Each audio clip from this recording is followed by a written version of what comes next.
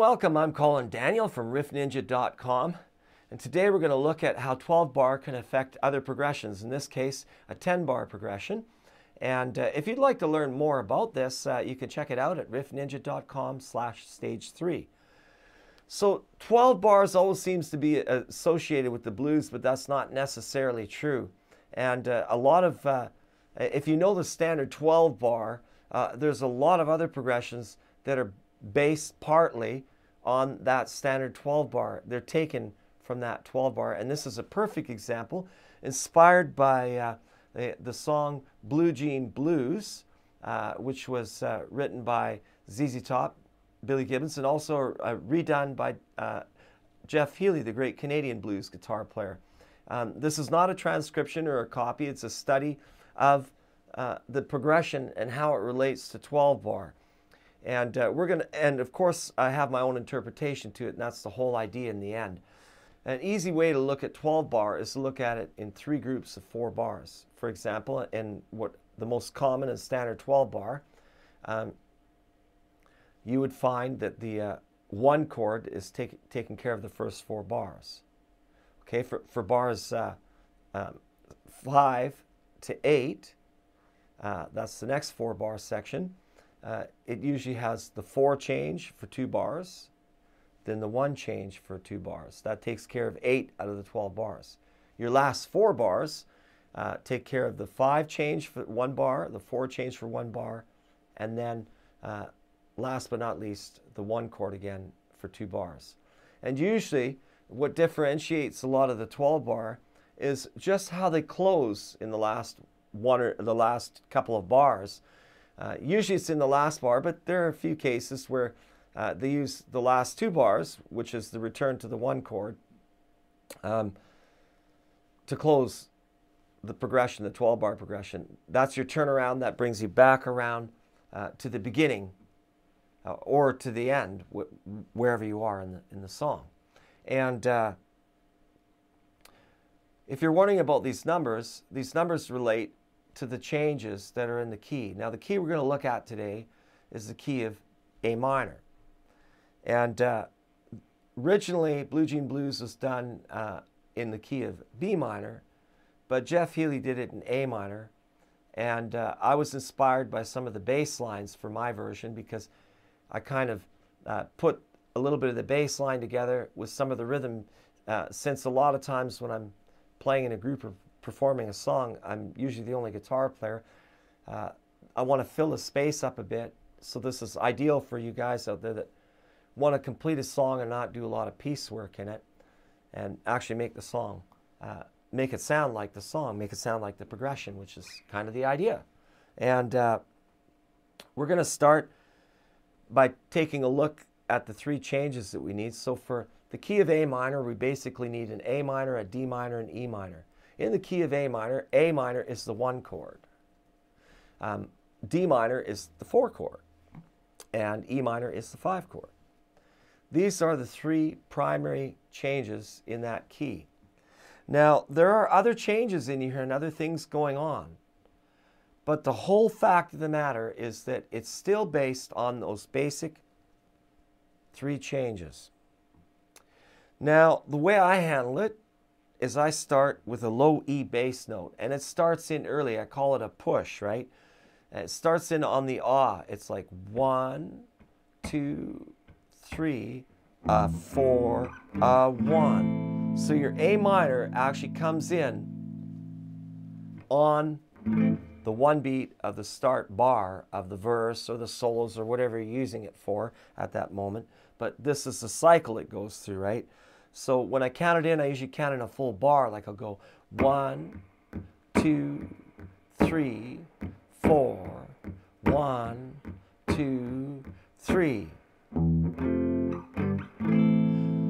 So you'll notice every time I play this,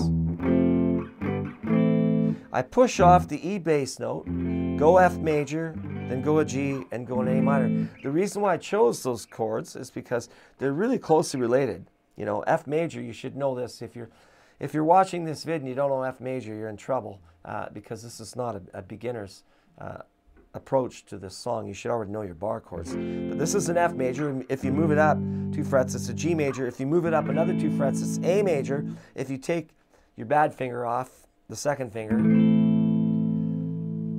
then it's an A minor, right? So now that's, we go from the E bass to the F major to G to A. And I use the E bass to buy me a little time when I come up to the A because if I strike the E bass, as I strike the E bass, I can actually head towards the direction of the F major and get my hand kind of half ready over it. So it saves me time. If you watch, I'm actually doing that for the change. One, two, three. Two, three. Three. One, two, three. Now, the interesting thing about this is the E, F, and G are always used to push to the A minor. The A minor is the one change. We actually do that A minor change with the push for four bars. If you, it's four times, right? And when we started, like I said, I usually started early. Um, and uh, depending on which version uh, you listen to, uh, they use this also for the intro. And uh, but the actual verse part of the progression, the part that you sing, is a 10 bar phrase. And it's four bars, four phrases, four cycles of this push off the A. So it's like one, two, three. There's our first bar. Our second bar, two, three. Our third bar. And our fourth bar. See, this is slow triplet. And uh, it has a really laid back feel to it. And this is why um, the push is there. Leaves you room um, when you get to the A minor to do your fills and your riffs, which is really cool. This is a very cool progression that way. It does leave you a lot of room. So now we've done the four bars of A minor, and we need to get to the four change, right? In standard 12 bar, your first four bars are the one chord. So even though we're you know pushing off the E, the F, and the G, they're all related, right? E, F, and G are related to the key of A minor. You'll find them right inside the chord if you look close enough. Um, now we need to change to the four chord, which is a D. And I'm going to play a D minor seventh like this. This is, again, you're in trouble if you don't know a basic minor chord. This is B minor. This is pretty common. Like this is A minor. So if you bar it and move it up, this is B minor, this is C minor, this is D minor. We're going from the root on the fifth string. Now to make a minor seventh, all I do is take off my pinky. D minor and D minor seventh are interchangeable. They're very, very close. Um, D minor seventh is a little more jazzy, a little softer sounding, and D minor leans more to a darker sound. And I just chose to put the D minor seventh in there and add just a little Colin Daniel touch there. And now we use a bass riff uh, that I heard in the uh, Jeff Healey version that the bass player played, but I'm going to use it on the guitar to help me launch into the D minor seventh change. And we're going to start again with an E.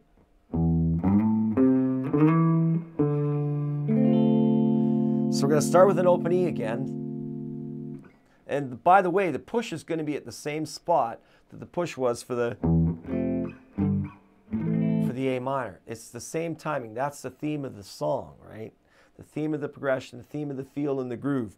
Um, so we start with a low E. Now I slide up, and it's kind of a random thing. If you're, if you're struggling with a slide, you don't even have to play the slide. You could just go. But the slide definitely adds a character to it. And basically, we're going to launch yourself up to the D root, which becomes part of the D minor seventh chord, right? So.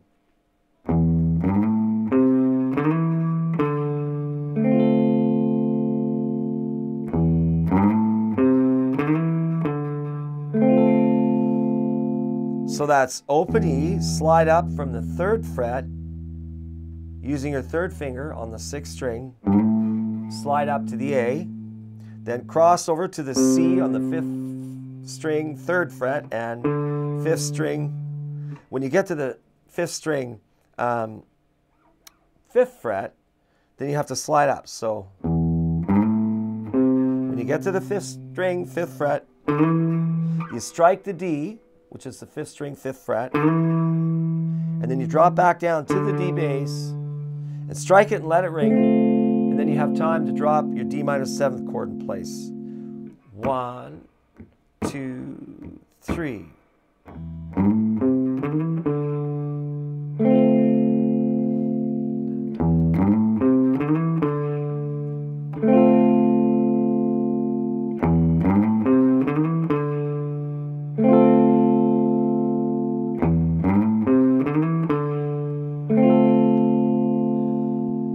A sweet sounding riff with chord? Sounds great. So you're going to do that twice, right, for two bars. So what happens, see, if you practice these separately in groups, you're going to have an easier time. So what happens is you come off the last A, one, two, three, two, three. There's your first bar D. Now we have to go back to the A for the last two bars.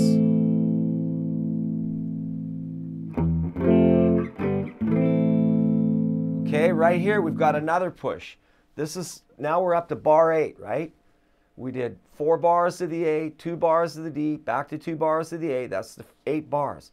We are in a 10 bar phrase. So, so far, this progression totally follows the 12 the standard 12 bar format. For bar number 9 in standard 12 bar, we go to the 5 chord and guess what?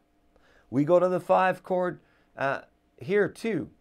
And it's an E and there's a bass note push and again I uh, decided to uh, take the idea uh, from one of the riffs in the Jeff Healey version and in, morph it into my guitar. So this is what happens. This is a very traditional riff.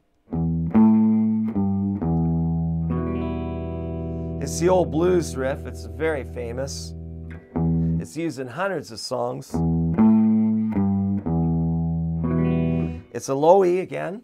Then it goes up to the A, then to the G. And it's all in the sixth string, so it's open, then fifth fret, third fret, and then back to the E bass note, and then you strum your E minor chord. Sometimes I like to play an E minor seventh there too. Okay? So when we come off the D minor seventh,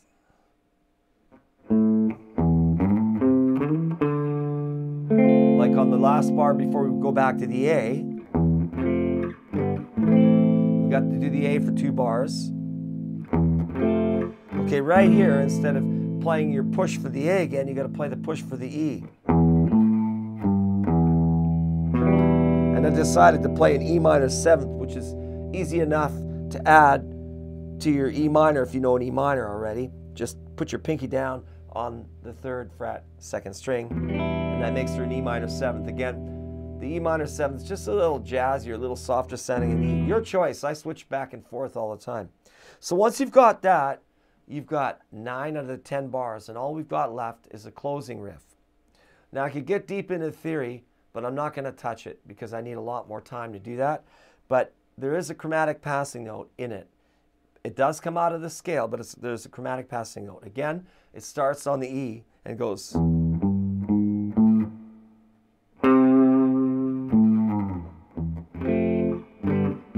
And then, of course, you're back into the progression uh, to start the cycle again. Now, I, you can play those in chords or single notes or power chords. There's a whole bunch of ways. I'm just going to show it to you in single note because that's the easiest to handle it at first. Um, so you use your first, second, and third fingers on the sixth string, on the third, fourth, and fifth fret. And that gives you a G, G sharp, and an A. So you start with your open E. Then you go over to the C, which is the third fret, fifth string, back to the A, That's your root. You're done. So that riff happens in the same spot off the 3 ah that every other push has happened on, just at the end of the E bar, right? So it comes it comes off the ninth bar and morphs into the tenth bar, and that becomes the end of your progression. So let's put that all together. One, So your first four bars is A minor. Two, three, two, three. One more. Two, three. Now we're going to change to the D. Two, three. Okay, that's one bar D. We need one more. Back to the A. One more A. Now to the E, bar nine.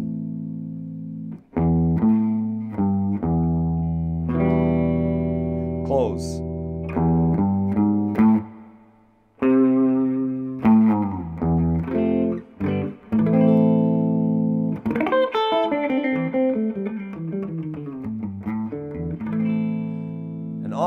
Blues progression. If you really want to learn about blues, you should check out my course, riffninja.com, stage three. Um, thanks for your time, and I hope you found this really informative. We'll see you later.